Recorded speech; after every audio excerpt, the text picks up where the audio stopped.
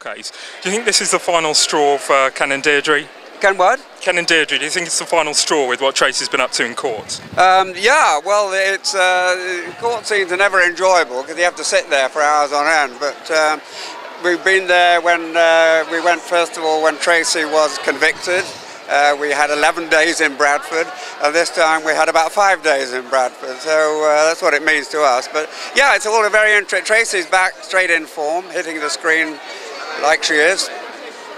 You've got a new boss, uh, Phil Collinson. Um, sorry, my hearing isn't too good. You've got a new boss, Phil Collinson. Um, yes. what's his What's his role been oh, like? great. No, no. Phil's going to be a very good producer. I mean, he's got a great pedigree, a great background, and the, the important thing about any producer is that they love the street, and he does. He, he's always loved the street, so we're in good hands. And your two sons, um, yeah, yeah. Linus and James. Linus and Will are coming in. It's going to be marvellous turning up at the rehearsal room together, or getting in and then acting together. It's going to be really good. Can you tell us much about what their roles are going to be? We know there's a dark family. Really, because I, I haven't got the scripts myself yet.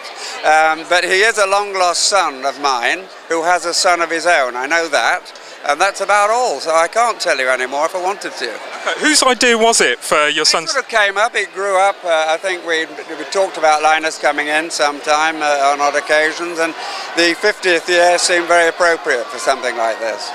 As for the 50th, how, how far have pl plans progressed for that? Uh, very much so, but they don't want to overplay it. I mean, the 50th is on the uh, 9th of December, so uh, I think it's from the end of September, something like that. There are 50 episodes to the 50th, and there'll be a sort of countdown, and things will be coming in and things will be happening, but they don't want to start too soon. Okay, and have they told you much about that? No, very little, only that it's going to be pretty hectic, and life's going to be busy, and I'm going to have heavy stories, which is good.